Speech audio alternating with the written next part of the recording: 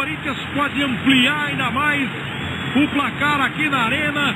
Pênalti do Reinaldo em cima do Romero. Partiu Christian, bateu.